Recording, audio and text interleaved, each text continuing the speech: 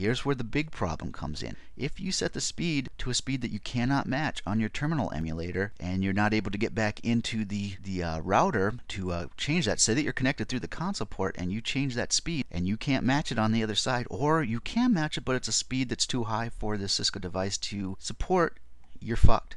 Because it won't you won't be able to get back in the console port. You'll have to find either you know the auxiliary port or some other method to get in there or you'll have to reboot the router to clear that setting. So if you do set this, for God's sake, don't fucking write it until you're 100% sure that that's a working speed. I'm actually going to skip this slide because we did this with the actual application, so you've seen this, how to set this. Okay, so we've got our uh, laptop connected to the console line, let's say. We've got our terminal emulator, and we've matched speeds on that console line with the terminal emulator, and we've found ourselves a relatively fast in the uh, X modem world speed that we can agree on. We've got our IOS image and we're ready to move this sucker over. So how do we do this?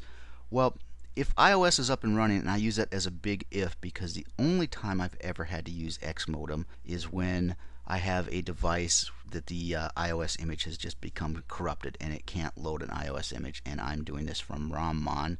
We'll get to that in a few slides because otherwise, you know, if if IOS is up and running, you have access to at the very least TFTP and you can use TFTP to move this file over. But I digress. Let's just say we're stuck with Xmodem. So Xmodem is actually one of the copy options. So, you know, if you're going to copy the image to your flash or you know, whatever RAM that you're using, you just issue the copy and do a question mark and you can see that X and Y modem are both available. So the uh, full command would be copy X modem and then where you want to put the file. In this case, it's uh, flash 2 on the uh, 2610 and then you would specify the image. You want to erase flash? Generally not, but and then you go ahead and hit enter and I'll come back to this in just a second. This is directly from the Cisco documentation. Copying a file using FTP, RCP, TFP, blah blah blah. Any other transfer protocol is going to be much faster than copying a file using Xmodem. Uh, use the Xmodem command only if you do not have access to any of these other file transfer methods. Fair enough, and I've already told you pretty much the same, probably not as eloquently. The copy operation is performed through the console or auxiliary port. The aux port, which supports hardware flow control, is recommended. Well, Thanks a lot, Cisco. Then I'll go ahead and use the auxiliary port, which is what I did here in this example. And again, your mileage may vary. Uh, this might be platform slash IOS dependent, but in this case on a 2610, I was not able to use the auxiliary port. It tells me I can only do this from the console port. So it said go fuck yourself. I'm not going to let you do this. So just keep that in mind. If you're in a situation where you're using X modem, have the documentation up um, because you're not going to be doing this daily. God forbid, if you are, you have a horrible, horrible job. Get the hell out. Like a password recovery, it's always good, no matter how many times you have done it, to have the documentation in front of you. So, some more Cisco lies.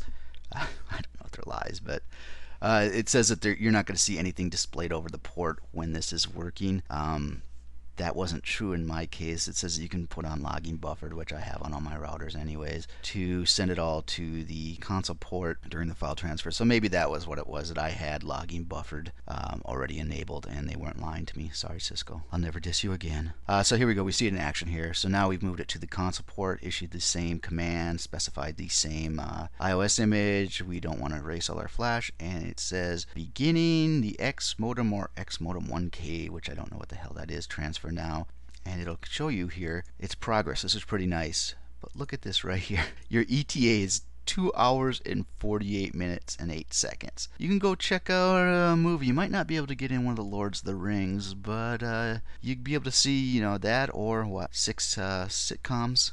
So you've, you've got plenty of time to kill when you're doing this. Uh, like I said, X modem transfer is slow. So depending on the baud speed you use and the size of the file, an X modem file transfer can range from irritatingly slow to agonizingly slow. And I'll say it one more time, this method of file transfer should be only used if there are no other options. Unfortunately, when you're generally going to be using this, it's going to be when your router has a corrupt IOS image on it and you have no other option. That's where the agonizingly slow bit comes in because you're probably going to have a bunch of monkeys over your shoulder asking questions. How long before this router comes back up? What's going on? Why is it taking so long? Blah, blah, blah, blah, blah.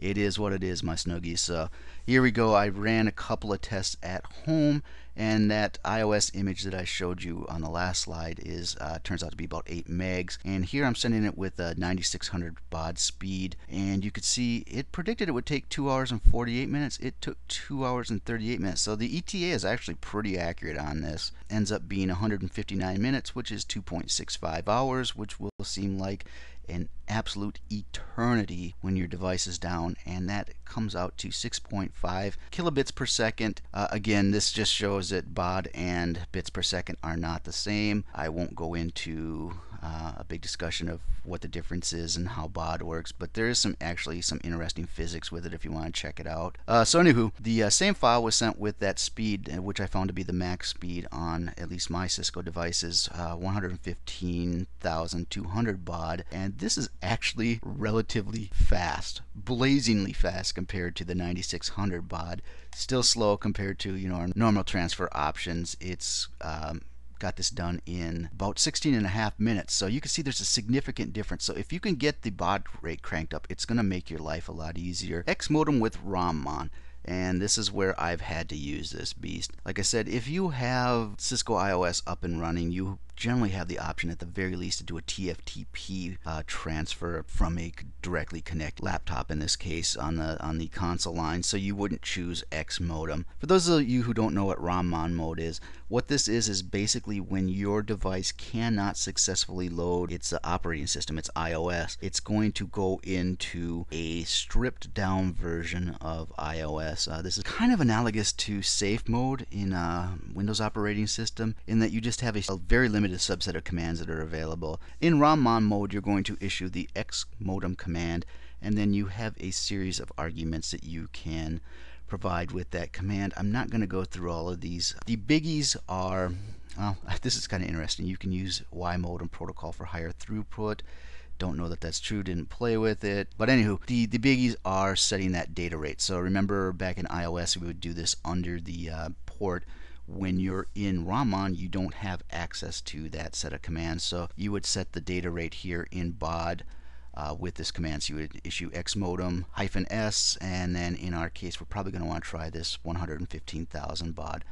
Uh, they've got BPS here. Shame on you, Cisco. Don't make me launch into my boring ass discourse on the difference between baud and BPS. Anywho, so again, make sure you can match it on both sides. Then the next one that you need to know is just the file name you know, whatever the IOS image that you're going to transfer over, you're going to have to specify that. And this is directly from the Cisco documentation. Here they're saying that, you know, you issue xmodem hyphen C. That's for checksumming. I guess it's a good idea. It shows you that everything went over correctly. It's optional. You don't need to do this. So, and then this is the IOS image version. Obviously, they're fine with whatever the uh, port was set. But if we remember back to this slide, you can set the baud rate of the uh, with the uh, hyphen S argument. Like we saw, the difference between the, the default 9600 versus the 115,000 is significant. So anyways, you issue this command and it will go through all this. You can read this and you're good to go. It's going to slowly,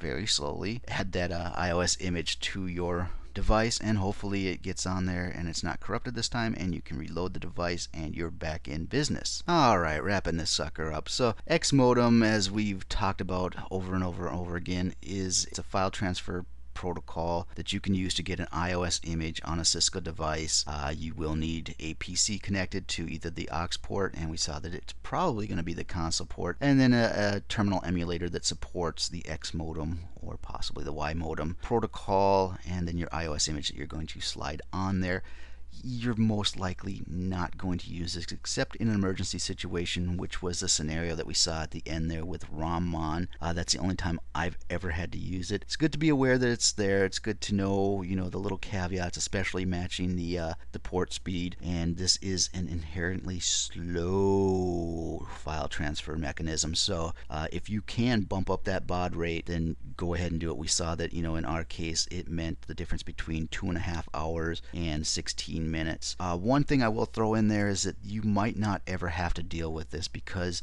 newer IOS images I've seen have support for TFTP in the ROMmon. So if you're in ROMmon mode, you could set up a TFTP transfer and that's going to be faster. I'm going to let you go here. Uh, thanks for joining me in the Packet Lab. Again, I hope this is beneficial and I hope to see you again soon.